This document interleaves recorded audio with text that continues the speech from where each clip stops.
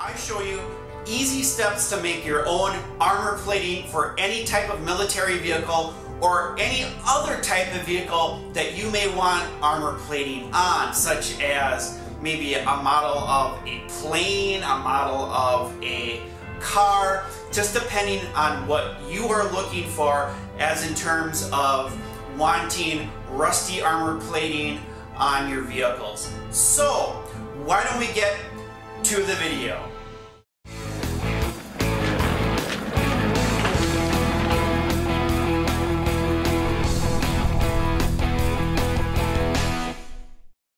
I decided to make this video to show everybody how to achieve that rusty armor plating seen on some of those heavy modern equipment pieces like the M1074 transports seen in Iraq. With the insurgency that's been occurring in Iraq, U.S. military personnel were forced to protect themselves using methods deemed necessary to avoid being easy targets for surprise road attacks on their vehicles. I'm sure there are many ways to get the results we're working to achieve here, but this is just one of them. Items I use to get the job done. Any old pair of scissors. Apple cider vinegar. 1 to 3 millimeter thick, non rust free metal plate. Remember, the thicker the plate, the more difficult it will be to cut with a normal scissors. A sharp blade or knife, only if needed a small bowl that will fit the pieces needed for the required project, a spray bottle with water. I'm sure there are many ways of achieving this effect, but this is my own.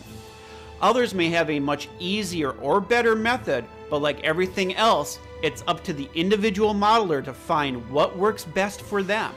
I will now try and take you through a couple of short, easy steps using my methods. The first thing to do is to decide on the design of the armor plating by making a sketch of it on a piece of paper. When done, cut it out according to the scale you want it to be. Now take the sheet of metal and cut out a piece that you will need for the required project. Take the pattern that you have made and place it on the sheet of metal. Now using one hand to hold the pattern and the metal plate, take a pair of scissors and cut the metal according to the paper pattern you had just made. When done, the results should be similar to the paper pattern you made. When you are satisfied with your design pattern, then you are ready to age your armor plating. Pour a reasonable amount of apple cider vinegar in a bowl, so that when you put the metal in it, it will submerge covering the entire surface of the metal. Now leave the metal piece submerged in the apple cider vinegar for about 30 minutes. When the 30 minutes are up, remove the metal and place it on its side to dry so that the rusting process can begin. Now you will have to help the process along by spraying water in between drying intervals. This way, the rust will build up layers as the effect gets stronger. It takes a while, but the results are worth it. You can also lay the metal piece flat and spray a couple squirts of water to get the rust buildup to settle in one area. Just spray and let it dry. Remember, spray in intervals. This way, the first layer will have time to develop and settle. The pictures show the results between 5 and 10 minute intervals of spraying after it was removed from the bowl three hours ago. You'll notice that as long as you leave the metal submerged in the liquid, the metal will remain in its original state and therefore will not rust. If you want more rust effect, just spray some water on it. You can see how long it takes the plate to reach a more desirable effect than normal. The idea is to build the rust up in layers. When the metal has rusted and you are satisfied with the look, then it is time for a bit of weathering. Where the metal had extremely settled, I take a sharp knife or hobby blade and scrape away at some of the rust at various areas of the metal. Again, this method is only required if the rust has settled hard on the metal plate. Otherwise, this method is not required. Usually, this is when the plate has been left sitting for days after been taken from the bowl and had been sprayed between intervals, which by then the rust had hardened. Personally, I like the plates fairly rusty so to get different shades of rust at different levels. By scraping away at certain areas around the metal plate, I get different shades of colorization that gives me a livelier look than it being just one plain shade. Of course, this is totally up to you, as everyone has a preference, and therefore I will leave it up to you to decide the outcome of the end results. This last procedure is not a must, but does blend everything in with the rest of the model. I use three shades of powder pigments, black, gray, and burnt umber.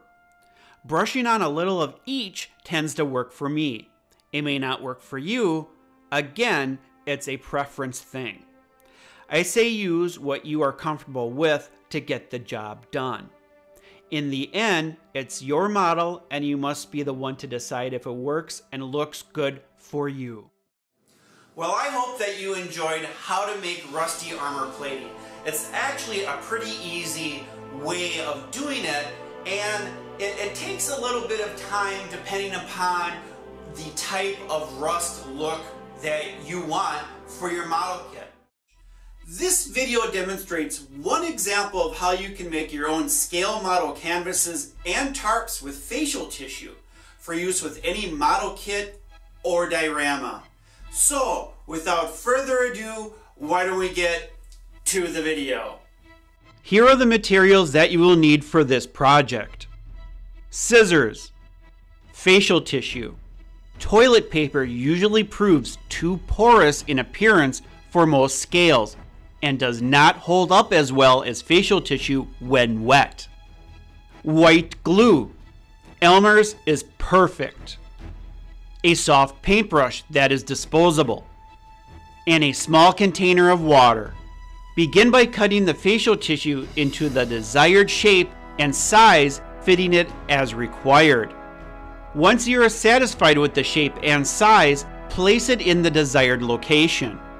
Mixing a small amount of white glue and water together in a 50-50 mix, apply the mixture gently to the tissue taking care to retain the proper positioning. Only mix as much as you will need, one coat at a time and apply gently.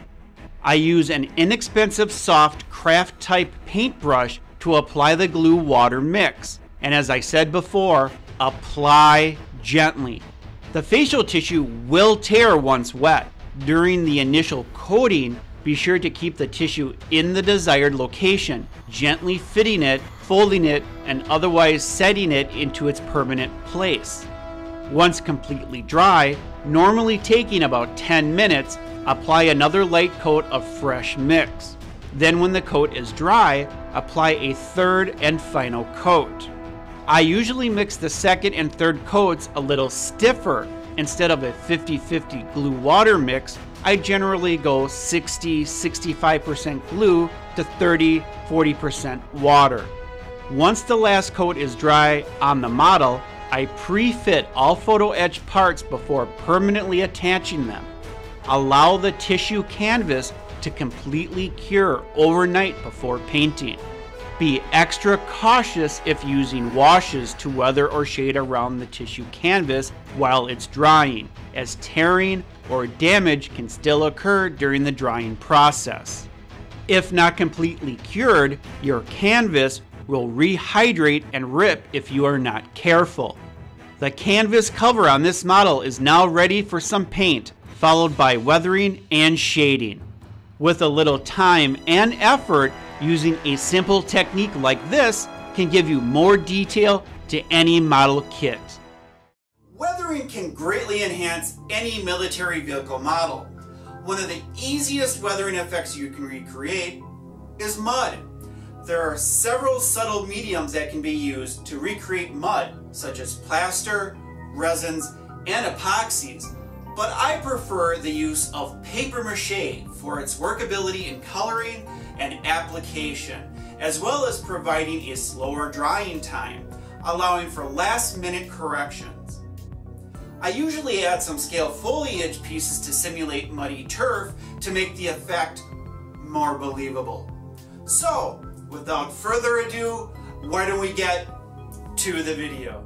When simulating mud, particularly on AFVs, I have found that Celluclay is a good medium to use. Celluclay is a name brand paper mache product found mainly in the US. It's available as a dry powder. You simply add water to get the consistency you desire. Just apply it and let dry. Here's how I use it to simulate mud so it can be applied to scale models and dioramas. I start out with the following materials. Celluclay brand paper mache, water-based PVA glue, Elmer's white or any carpenter's glue, any type of water-based acrylic paints, resealable glass or plastic container. The first step is to mix the water and celluclay until the consistency is that of partly thawed frozen cookie dough. To your cookie dough, add in your colors. As seen here, I use craft store hobby acrylics. Mix in whatever colors best suit your specific application. Tans for desert, browns for ETO, reds for clay, and so on. The next step is to pull out the amount of mud required for the job and put it into a separate container. Set aside the main portion of the mud for your diorama groundwork that will cover the base. At this point, I mix in some vegetation, giving that chewed up sod effect. A little goes a long way, so not too much. Add in whatever vegetation materials you have, seafoam, static grass, natural herbs, broken small sticks, etc. Anything that may fall on the ground and get stuck in your muddy situation. Once thoroughly mixed, keep covered between applications. The next step is application. I use a variety of tools to apply the mud. There is no standard tool. Whatever feels right is what I use. Various tools may be toothpicks, dental picks, and hobby knives. Go lightly with your application. It is often easier to add to than to remove from. Gently press the mud onto each surface, ensuring proper adhesion. One of the great things about this medium is the slower drying time, allowing for touch-ups and the addition of scale turf, weeds, sticks, etc. Once applied and slightly dried, the mud can be shaded, washed, and highlighted at your discretion. You can also apply darker tones over the lighter colors to simulate fresh mud over older mud. My preferred mixture normally surface dries in about 6 hours and cures completely after about 24 hours. The next series of photos show how, with a little strategic placement, you can make any type of vehicle model kit look like it's been through the mud.